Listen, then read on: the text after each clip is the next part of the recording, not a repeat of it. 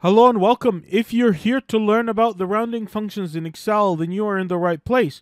Because in this video, we're going to explain all the rounding functions in Excel. So we're going to explain the round function, the round up and round down functions, the mround function, the floor.math function, the ceiling.math function, the int, and the trunc functions. In addition, you're going to be able to get our free rounding functions guide on your email address along with the example file through the link below in the description. I will also be splitting the video into different chapters so that you'll be able to fast forward to a particular function if you need to, although I would recommend that you watch the whole video. This video is going to be a lot of fun and packed full of information. And please, if you're not subscribed to the channel, please hit the subscribe button and hit the bell icon so that you get notified with all our future videos. So without further ado, let's get started. Alright, so the first function we're going to start with is the round function. So the round function will round your numbers up or down based on the number itself. And so the distinguishing feature of this function is that you will not be able to control whether the number gets rounded up or down, but rather the round function will round the number up or down based on the number itself. And so you cannot explicitly tell the round function round this number up or round this number down but rather the round function will just round it up or down based on the value of the number itself. And we will see that on the examples. So the round function takes two inputs. The first input is the number itself, which is the value to be rounded. And the second input is the number of digits input, which controls how the number gets rounded. And it controls it according to this table here.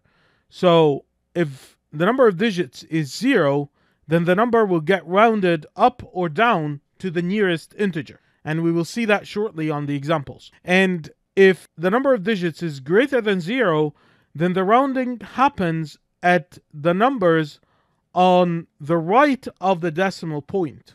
So if you're rounding to n decimal places, then if the n plus 1 digit on the right of the decimal point is greater than or equal to 5, then the number gets rounded up. Otherwise, it gets rounded down. And so if you want to round to three decimal places, you put the number of digits as a 3. And so if the fourth digit to the right of the decimal point is greater than or equal to 5, the number will get rounded up. Otherwise, if it's less than 5, then it will get rounded down. And we will see that on the examples as well. And the third possibility is that the number of digits is less than zero, so it's a negative number. And if that's the case, then the number gets rounded up or down to the nearest 10 or 100 or 1000 or 10,000 or 1 million. And we will see that as well on the examples. So let's go through some examples for the round function. So the first example here is we're rounding the number 14,596.502.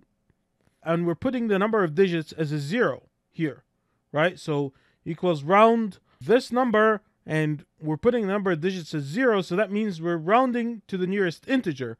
However, the number will be rounded up to the nearest integer, so it will be rounded up and it will become 14,597 because the first digit to the right of the decimal point is greater than or equal to 5.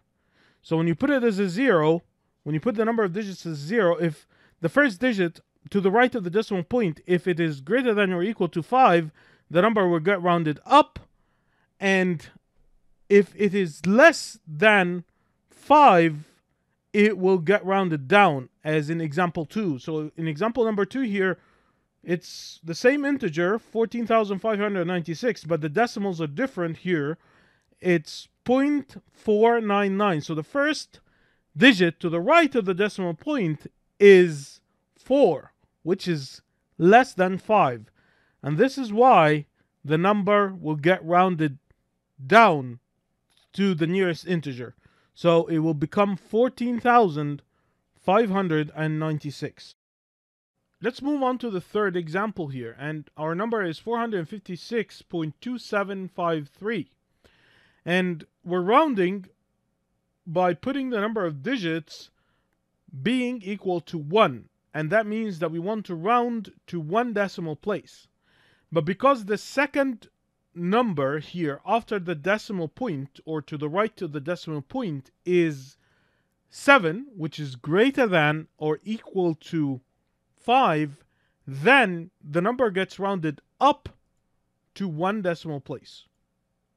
Right? And this is the rule here because here n is equal to 1. And so if the n plus 1 digit, which is the second number here, is greater than or equal to 5, then our number gets rounded up, which is what happened here. The number got rounded up to 456.3.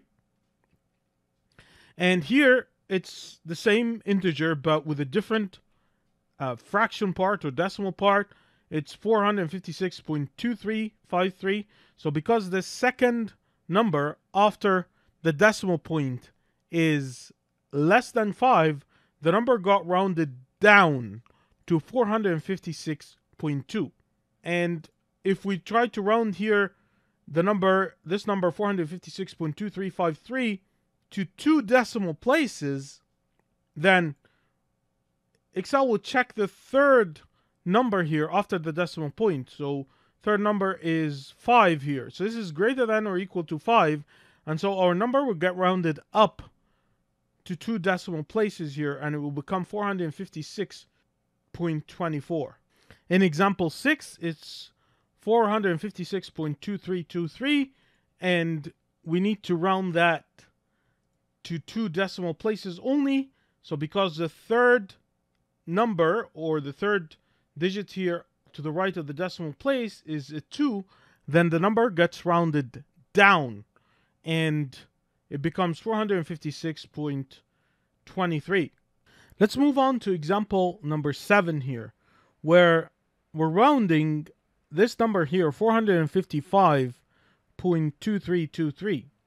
And we're putting the, our number of digits to be equal to negative 1 which would fall in this category here, less than 0. So that means that we're rounding to the nearest 10. And to think about the nearest 10, so if we divide 455 by 10, we would say that we have crossed or we've been through 45 tens. This number contains 45 tens. So the next 10, which is the 10 number 46, would make us go to 460 and the previous 10 would make us go to 450 so whether we're going to round up or down will depend on the value of the number itself.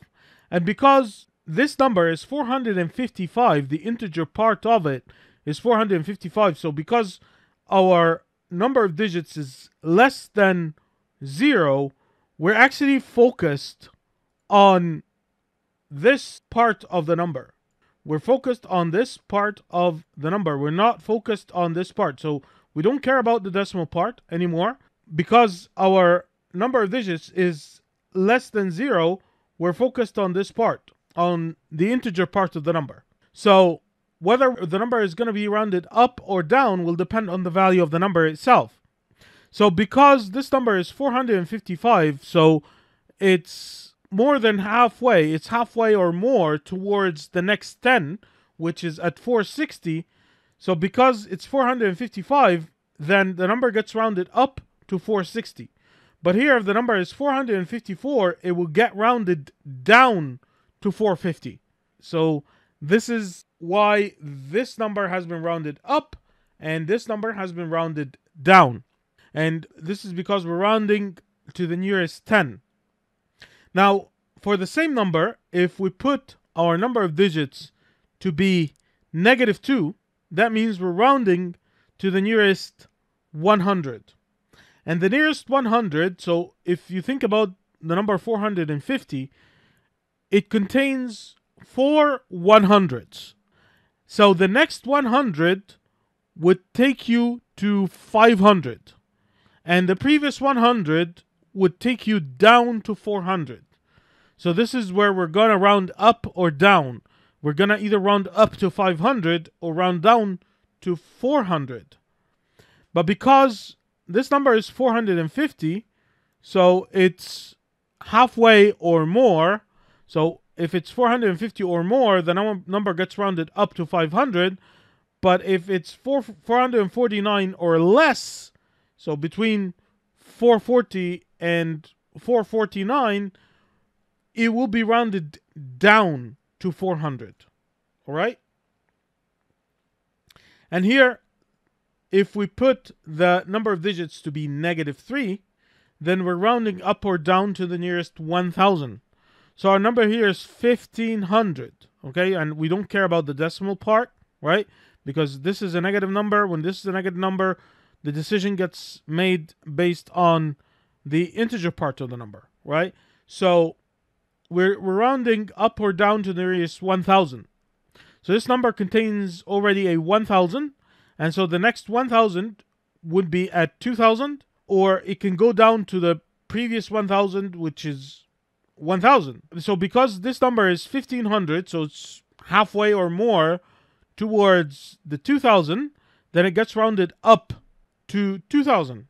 And because this number is 1499 or less, so anywhere between 1000 and 1499 will be rounded down to the nearest 1000. So it will become a 1000 only. So this is how the decision is made on whether the number gets rounded up or down if you put the number of digits less than zero. So as you can see here, when you put the number of digits less than zero to be less than zero, then the number will be rounded up or down based on the numbers to the left, and everything, all the work gets done based on the numbers to the left of the decimal point. So we're going to be rounding up or down to the nearest 10 100 or 1000 or if you put it as negative 4 then it's the nearest 10,000 if you put it as negative 5 so it's the nearest 100,000 and if you put it as negative 6 it's the nearest million. So you can just play with it to be able to understand it more. I would recommend that you try to round some random numbers just to be able to understand how the round function works more. But again the distinguishing feature about the round function is that you cannot explicitly tell it whether to round the number up or down, but rather it decides to round the number up or down based on the number itself. And the functions that you can tell to round the number up or down explicitly are the round up and the round down functions, and we're going to discuss these next. All right, so we've spoken about the round function, and we've mentioned that with the round function, we're not able to control whether the number gets rounded up or down, and that whether the number gets rounded up or down would depend on the number itself. So if we need to explicitly control whether the number gets rounded up or down, then we need to use the round up and round down functions. So as you can see, they take the same inputs as the round function. So the first input is the number itself, and the second input is the number of digits. And they work exactly the same way. So the number is the number itself, and the number of digits, if it's a zero, then the number will get rounded up or down to the nearest integer. And if the number is a positive number, then the rounding happens to the numbers on the right of the decimal point. And if the number of digits is a negative number, then the rounding happens to the numbers on the left of the decimal point and the number gets rounded up or down to the nearest 10 or 100 or 1000 or 10,000 or 100,000 or 1 million depending on the value on the number of digits. So let's actually have some examples here. So on the first example, we have this number here 14,000 596 and we are using the round up function with the number of digits being a zero. So because the number of digits is a zero the number will be rounded up. Because we're using the round up function the number will always be rounded up and it will be rounded up to 14,597 so of course if we use the round up function our number will always be rounded up. And here uh, with the same number, we're using the round down function with the number of digits being a zero. Then the number gets rounded down to 14,596. So it gets rounded down to the nearest integer, which is 14,596. In example number three here, our number is 456.2753, and we're using the round up function with the number of digits input being a 1. And that means that the number would be rounded up at the first decimal place. So here the first decimal place is a 2. It would be rounded up to a 3, so it becomes 456.3. And here the same number, we're using the round down function with the number of digits being 1. The number gets rounded down to 456.2. And here in example number 5, our number is 456.2753 and we're using the round up function with the number of digits being 2. So the rounding will happen to the number on the second decimal place here. So the number on the second decimal place is a 7, so it will become an 8, and it, it's going to become 456.28. And here in example number 6, our number is the same, but we're using the round down function instead. So our number becomes 456.27. The number would get rounded down, but it will be a 6. It will still be a 7 because technically this number is greater than 456.27 as it has more decimals here. So it gets rounded down to 456.27. And then here in example number 7, our number is 451.3644 4, 4, and we're using the round up function with the number of digits being a negative 1, and that means that number is going to be rounded to the nearest 10, and it's going to be rounded up to the nearest 10.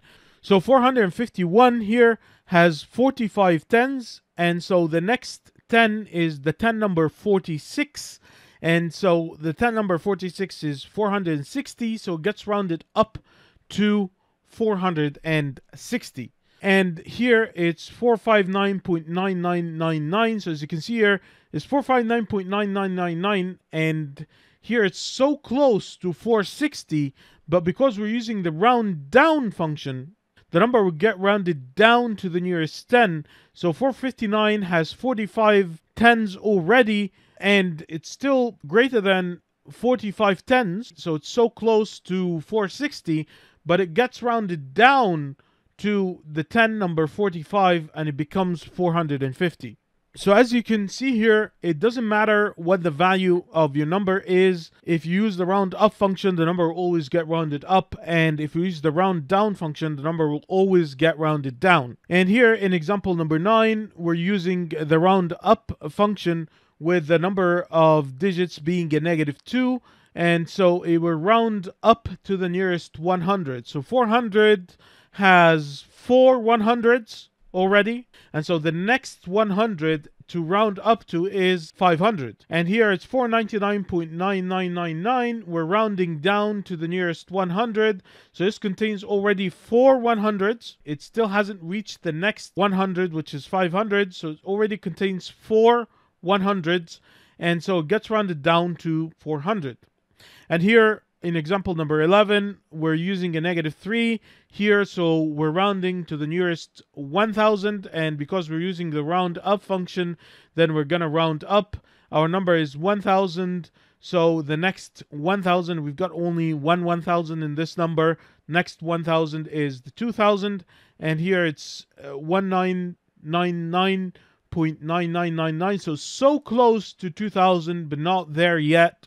And We've got only one 1000 in that number, so rounding that number down by using the round down function, rounding it down, it's going to become a 1000. So as you can see here, the round up and round down functions work exactly like the round function, except for the fact that they enable us to always round up and always round down our numbers rather than the number being grounded up or down based on the value of the number itself. Alright guys, so now we're going to speak about the m round function. So the m round function can round the number to the nearest multiple of another number. So you supply it with the number and you supply it with the multiple and it will round your number to the nearest multiple of the multiple that you supply it with. And you may ask whether your number will be rounded up or down. So this is actually decided by a rule that the mround function just applies in the background. So you will not see this rule being applied. You will not see anything. It's just that the mround function applies that rule. And the rule is that the remainder of dividing the number by the multiple, and we can get the remainder by using the mod function in Excel, of course. This is why I'm using the mod here. So the remainder of dividing the number by the multiple is greater than or equal to half of the multiple. So this is the rule. So if this is true, or if the remainder is actually greater than or equal to half of the multiple, then the number will be rounded up. And if it is not greater than or equal to half of the multiple, then the number gets rounded down. So let's have some examples to be able to understand this function better. So in example one here, we're trying to round the number 10 to the nearest multiple of 3. So the remainder of dividing 10 by 3, it's the remainder and not the result, is 1. So this is the remainder of dividing 10 by 3, it's 1. And uh, dividing the multiple by 2, the multiple is 3. If we divide it by 2, it's 1.5. So that means that the remainder of this division here is not going to be greater than or equal to half of the multiple because the remainder is 1 and half of the multiple is 1.5. So that means that our number would be rounded down. So our number 10 would be rounded down to the nearest multiple of 3. So the nearest multiple of 3 that is less than 10 is actually going to be 9. So this is going to be our result. And here is how we wrote our function. We used the mround function and we inserted uh, the value of b15 here which is 10, and then our multiple is 3, which is C15 here. So this is number 3. So this is simply what we've done, and the result is 9. In example 2 here, we're trying to round negative 10 to the nearest multiple of negative 3. So of course the remainder of dividing the number by the multiple is negative 1. This is the remainder and half of the multiple is negative 1.5. So that means that the remainder of dividing the number by the multiple which is negative 1 is greater than or equal to half of the multiple which is negative 1.5 right because negative 1 is greater than negative 1.5. So that means our number would be rounded up. And so our result is negative 9 because negative 10 will be rounded up to the nearest multiple of negative 3. So the nearest multiple of negative 3 that is greater than negative 10 is negative 9. So this will be our result. Our result will be negative 9. And there is something about the mround function, which is that the number and the multiple cannot have different signs. So you can't supply a positive number and a negative multiple or vice versa. The function will not work and you will get a num error.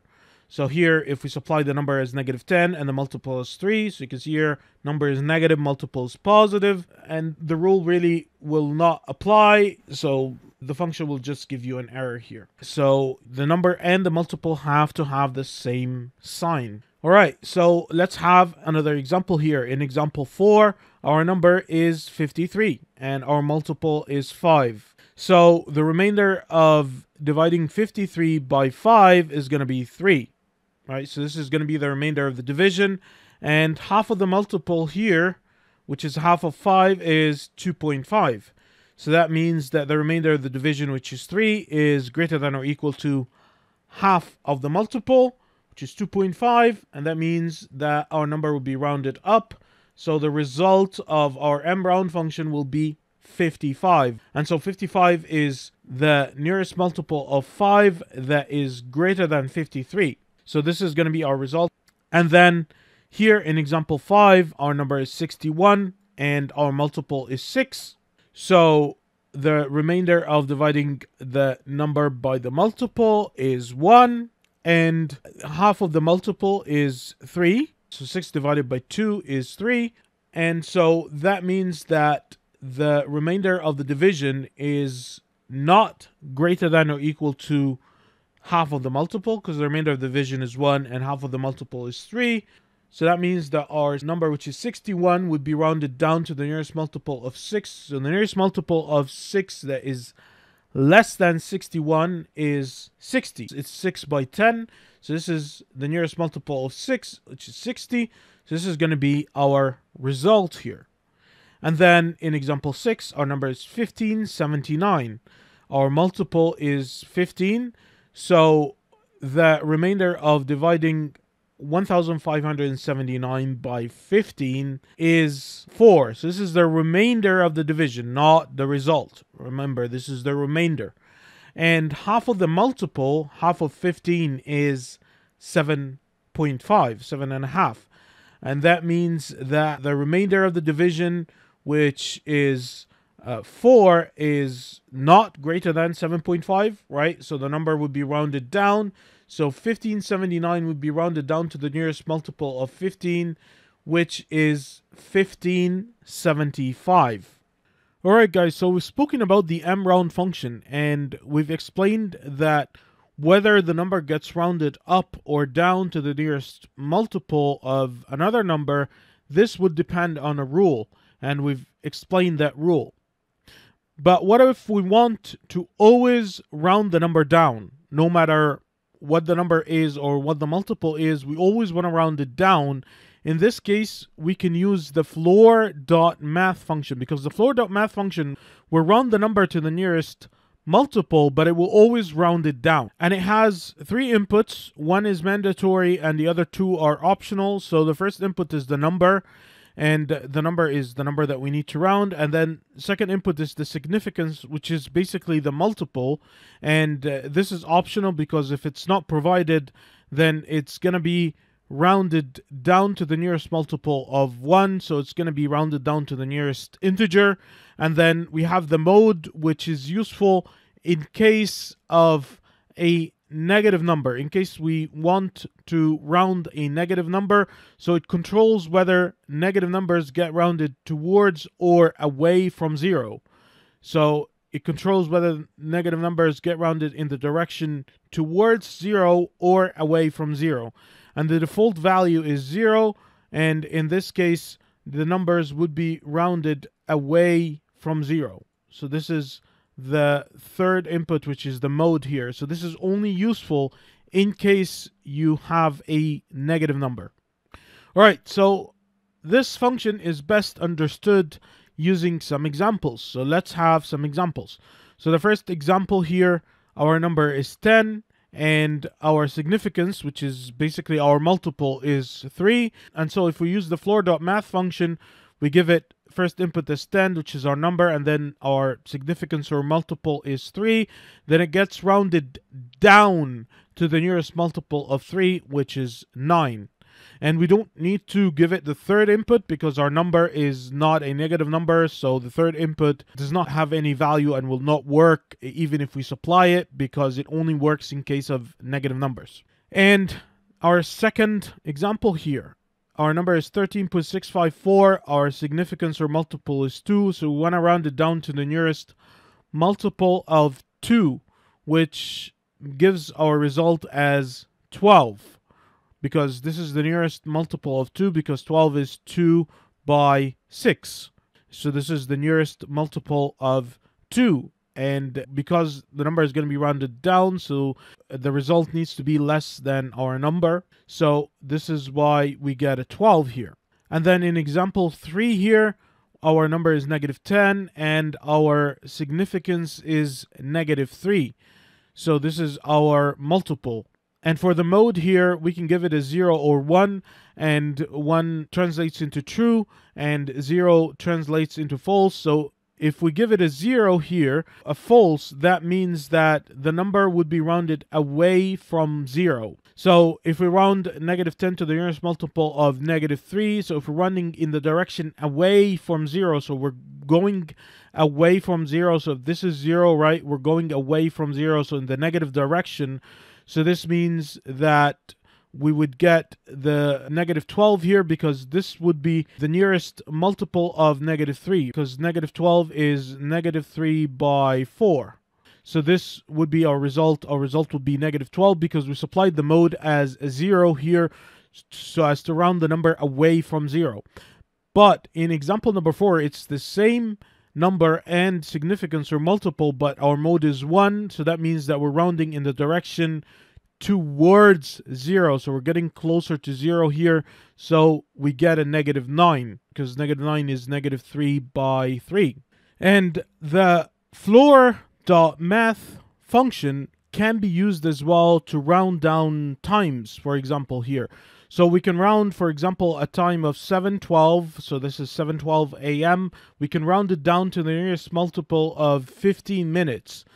So the nearest multiple of 15 minutes would be 7 a.m. So that's another application of the floor.math function, and this is useful in case you're creating an attendance sheet or so and you want to calculate or round numbers up or down to the nearest 15 minutes so as to get the attendance or so. So this is useful in that case. Let me also tell you that before we had the floor.math function, because the floor.math function was introduced in Excel 2013, we had a function that we used to use, which is the floor function, and it's now become a legacy function, and it's not recommended by Microsoft that you use it. It's it's recommended that you use the floor.math function. So the floor function has only two inputs. So if you write equals floor, you'll see first that floor here has an exclamation mark on it, and uh, that it's it's a legacy function. Where it rounds the number down to the nearest multiple of significance and it has only two inputs the number and the significance. So the floor.math function is better because uh, it has that extra level of control over negative numbers and whether they get rounded towards or away from zero. But the floor function does not have that functionality and it will always round negative numbers in the direction towards zero actually. So you can see here by using the floor function with the negative number negative 10 and rounding it to the nearest multiple negative 3 will be rounded towards zero and the result will be negative 9 so the floor function would always round towards zero but the floor.math function gives you the control on whether to round a negative number towards zero or away from zero but other than that, they work exactly the same. But after the introduction of the floor.math function, it's recommended that you use the floor.math and not the floor function because the floor function has become a legacy function and it's only available in newer versions of Excel for the sake of compatibility with older Excel versions. Okay, so we've spoken about the floor.math function and we've explained that with the floor.math function, you're able to round a number down to the nearest multiple of another number. But what if you need to round the number up instead of down? Then use the ceiling.math function. So the ceiling.math function takes three inputs and two of them are optional. The first input is the number which is the number that you need to round, and then the significance is basically the multiple that you need to round the number up to, and then the mode, which is used only in case of negative numbers. So this controls whether negative numbers get rounded towards or away from zero, and the default value is zero, and in this case, the number would be rounded towards zero instead of away from zero like the floor the math function all right, so let's have some examples. So the first example here, our number is 10 and our significance or multiple is 3.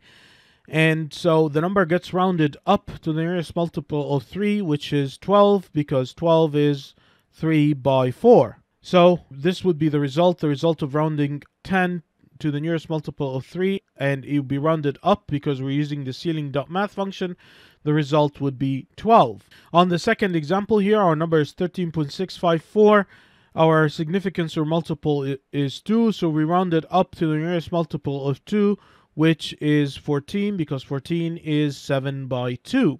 And then on example 3 here, we have a negative 10, and our significance or multiple is negative 3, and our mode is 0, so if you round it towards zero because uh, when we give our mode as a zero here the number would be rounded towards zero. So our result would be a negative 9 so this is the nearest multiple of negative 3 when rounding towards zero and here if we provide it with the number of negative 10 significance is negative 3 or the multiple is negative 3 but in this case here our mode is 1 so that means that the number would be rounded away from 0 so result would be negative 12 here. And then here we can use it as well with times. So rounding up 7, 12 a.m. to the nearest multiple of 15 minutes would give us 7:15 a.m. here because we're rounding up to the nearest multiple of 15 minutes.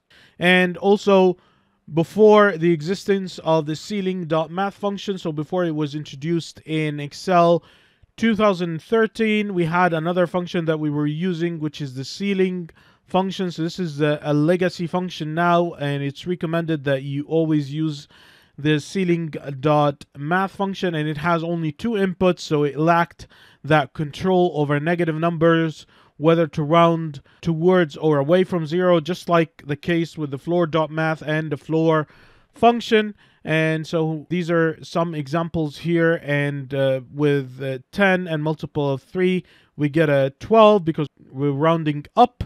And then here negative 10 and negative 3 here it would always round away from 0 so in case of negative numbers the ceiling function would always round away from 0 so we didn't have a choice with the ceiling function. We didn't have any control.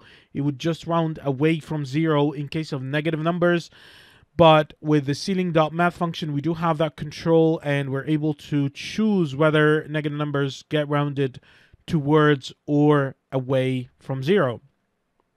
Now we're going to speak about the int function. So the int function will convert your number to an integer or round it to the nearest integer.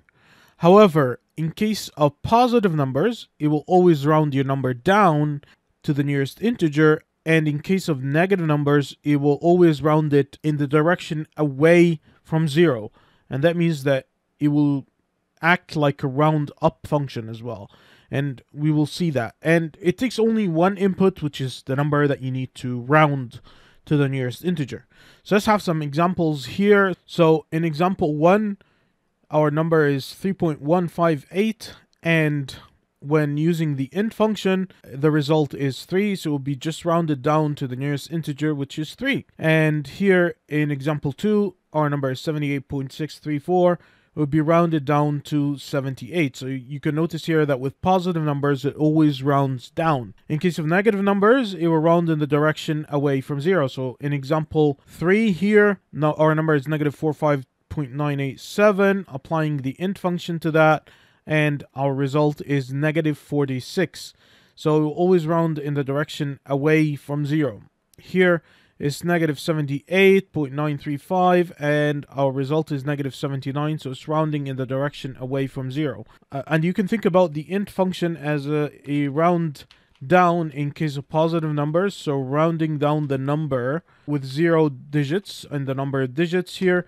So you can notice that the result is the same which is a 3 here and if we copy that the round down We'll do the same for example number two, but for example number three and four, which are the negative numbers, if we use the round up, you would need to use the round up to get the same result. So we use the round up with zero here, and we get the same result here as the int function. So you can think about the int function as a round down with number of digits equal to zero in case of positive numbers and a round up with a number of digits equal to zero in case of negative numbers. Alright, so now let's speak about the trunc function. So the trunc function will simply truncate a number. And truncating a number usually means removing part of the number. And we will see that more and it's going to be clearer when we go into the examples. But this function takes only two inputs. The first input is the number that you need to truncate or remove a part of. And the second input is the number of digits.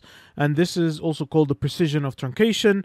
And uh, its default value is equal to zero. And that means that if you do not supply the number of digits because it's an optional argument or input because it has square brackets around it, if you do not supply, then its default value will be equal to zero. Let's actually dive into the examples because the examples are what is going to help us understand the function better. So on example number one here, our number is 1579.456 and we use the trunc function, but we did not supply the number of digits, so that means that it's equal to zero.